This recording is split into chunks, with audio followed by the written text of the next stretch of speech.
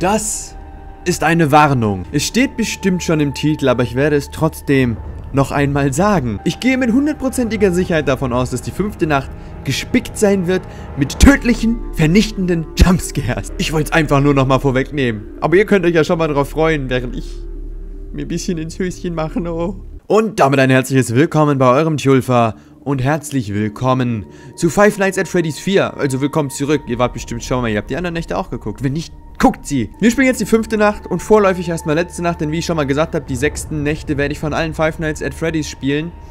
In einem Livestream machen, aber das seht ihr dann noch. Da kommt noch eine Ankündigung. Ganz ruhig, ganz ruhig. Ihr seht es dann, ihr seht es dann. Jetzt starten wir erstmal die fünfte Nacht und gucken mal, wie wir das machen, ob wir das meistern, ob wir es nicht meistern oder ob ich 15.000 Mal sterben werde. Ich weiß es nicht. Wir gucken mal.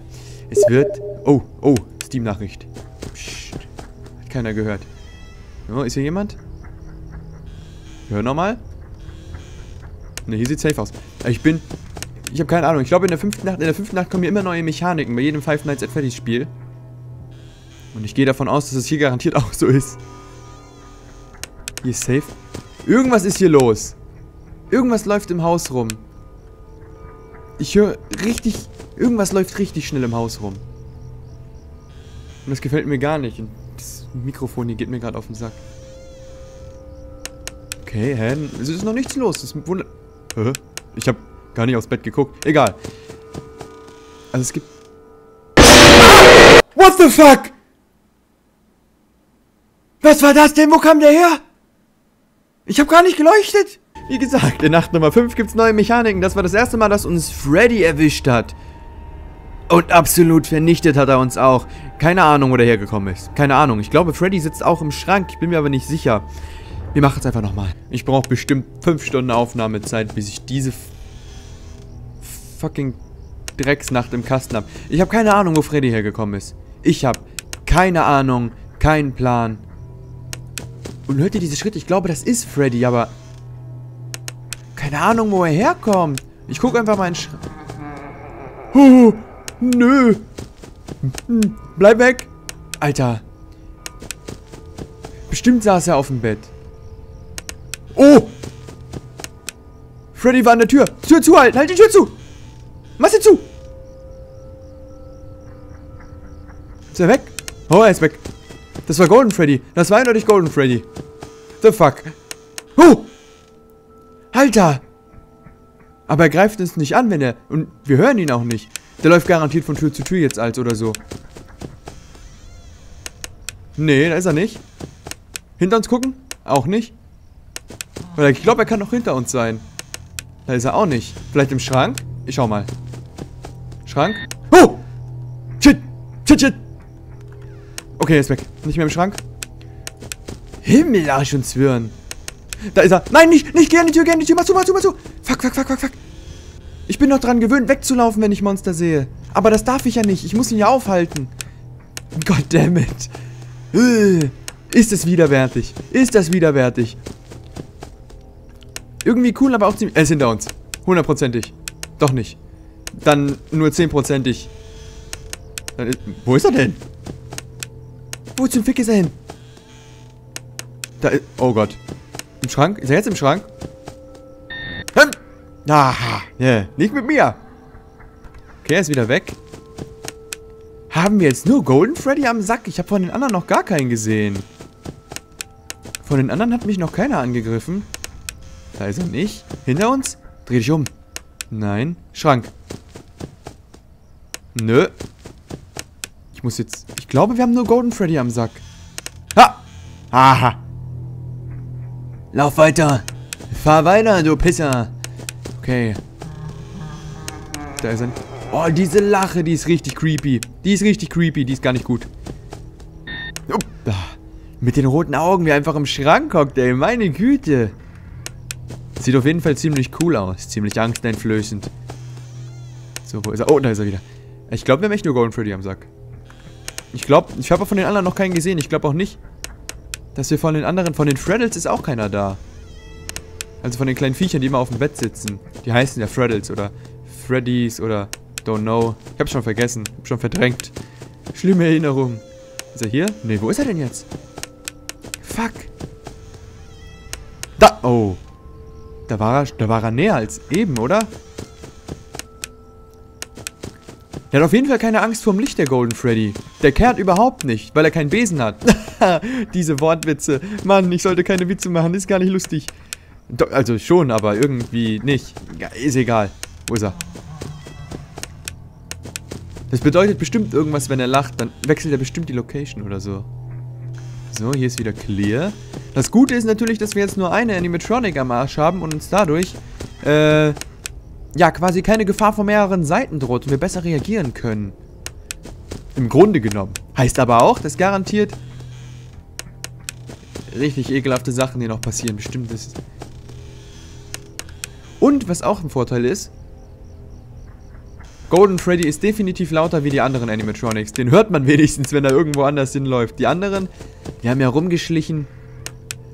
Ich, manchmal missklicke ich, ey. Dann halte ich die Tür zu, anstatt zu leuchten. Aber das passiert, da ist er. Tür zu. Okay, er ist weg. Sehr gut, zurück zum Bett. Da, wo ist er? Links, rechts? Wir mal rechts. Da, ja, gut, sehr gut. Wir haben 4 Uhr, läuft ganz passabel eigentlich, ne? Könnte durchgehen. Ich habe mit mehr Jumpscares... Bestimmt kriegen wir eh noch einen reingeballert. Bestimmt kriegen wir eh noch richtig einen reingeballert gleich. So einen richtig widerlichen. Kurz vor Ende wahrscheinlich. Er ist im Schrank. Garantiert im Schrank. Nee, hinter uns. Fuck! Da. Er war garantiert auf dem Bett.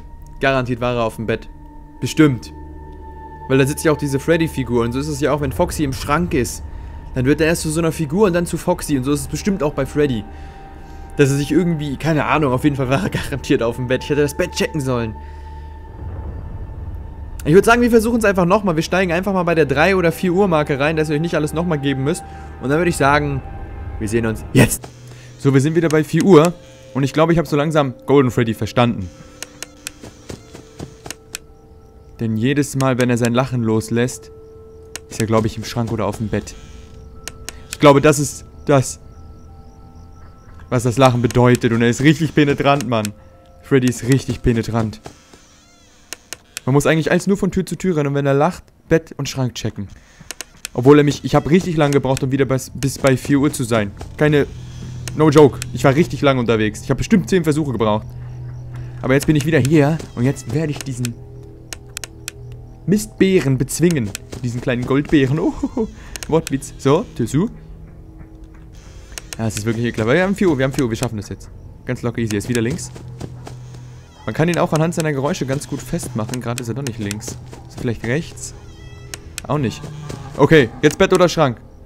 Schrank, Schrank, Schrank, Schrank, Schrank. Komm, komm, komm, komm, komm, komm, komm, komm, komm. Zack. Ist nicht auf dem Schrank. Im Schrank nicht. Bett. Auch nicht. Tür. Tür, Tür, Tür. Tür. Nein. Fuck. Mann.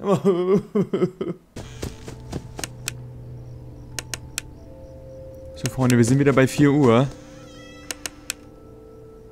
Oh, oh Gott. Äh. Und äh, zwei Sachen habe ich gelernt. Das Lachen von Freddy bedeutet einen Scheiß. Und verlass dich nicht auf Leute im Internet. Oh Mann, ich habe mir eben Tipps angeguckt und irgendwer schreibt einfach, Freddy geht nicht in den Schrank. Keine Sorge, in den Schrank kommt er nicht. Niemals. Niemals. Wahrscheinlich, oder? Mein Gott, ey. So, müsste... Ne, jetzt sind wir wieder rechts. Ganz ruhig sein. Ja. Komm, komm, komm. Ich habe ihn auch schon ein paar Mal gespottet und hat mich trotzdem angegriffen. Es ist wirklich widerwärtig. Na komm. What the fuck? Wo ist er? Oh, er ist unterwegs. Rechts. 5 Uhr. Links. Links, links, links. Ja, zu. Haben 5 Uhr, wir schaffen es jetzt. Ich schaff das jetzt. Ich. Okay, er lacht. Also sein Lachen bedeutet. Gut. Ihr dürft nicht falsch verstehen. Sein Lachen bedeutet schon was. Nur nicht immer. Ich habe mich eben knallhart darauf verlassen und bin ein paar Mal so reingefallen damit, ey. Und hat er mich richtig zerlegt ein paar Mal. So, komm. Links. Komm, wir gucken. Los, los, los. Komm mal, komm mal. Uh, Weil seht ihr, er lacht und er steht an der Tür. Das ist total... Totaler Dummshit. Er ist wieder links. Oder auch nicht. Er ist wieder unterwegs. Rechts. Nach rechts gelaufen ist er. Komm. Wo ist er? Nicht hier. Auf dem Bett? Im Schrank, im Schrank, im Schrank. Nein, er ist unterwegs. Glück gehabt. Links. Oh, geschafft. Geschafft endlich. Oh Gott, oh Gott, oh Gott, oh Gott. Ja. Ja. Ich weiß gar nicht, ich sitze bestimmt jetzt schon wieder eine Stunde, anderthalb Stunden an dieser Nacht dran. Ihr seht das ja nicht, weil ich schneide die ganzen sinnlosen Versuche raus, weil manchmal komme ich nur bis 1 Uhr oder nur bis 12 Uhr und 0 Tage bis zur Party. Was gibt's denn überhaupt für eine Party? Oh, oh. The fuck? Der Bruder hat jetzt seine Freunde eingeladen, alle haben Animatronics-Masken auf und machen den Jungen fertig. Was ist das für ein Bruder, Alter? Was ist das überhaupt für Menschen? Alter, guck mal weiter. Und die haben gerade gesagt, dein Bruder ist so ein Weichei. Es ist einfach nur lustig. Warum helfen wir ihm nicht? Damit er ein bisschen näher rankommt. Er wird es lieben. Ich glaube, die sind in dem, äh, Freddy Fazbear's Pizza. Und die werden ihn jetzt näher zu den Animatronics bringen. Nein, bitte nicht! Komm schon, Jungs. Lasst uns dem kleinen Mann ein wenig helfen. Er möchte aufstehen. Und ein bisschen näher kommen. Ja, und was macht... Oh, tragen die den jetzt weg? Zu den Animatronics. Oh, wie asozial ist das denn? Nein, ich will nicht gehen, sagt er. Ich will nicht gehen. Ihr habt den kleinen Mann gehört. Er möchte noch näher ran. Haha, und da ist Golden Freddy. Was machen die jetzt? Äh... Äh... hey Jungs, ich denke, der kleine Mann hat gesagt, er möchte Fredbear einen Kuss geben. Eins, zwei, drei. Und jetzt stecken sie ihn in sein Maul rein? Was? Und einfach keine Reaktion von denen.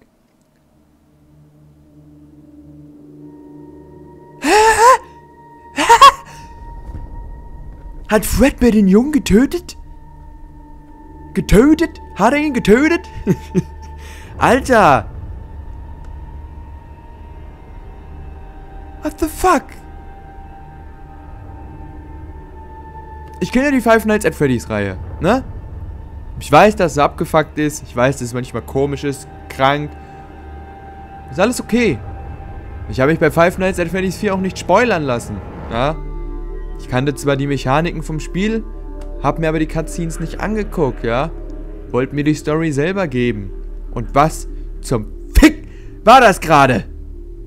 Die haben den Jungen einfach in das Maul von Fredbeer gesteckt und er hat zugebissen.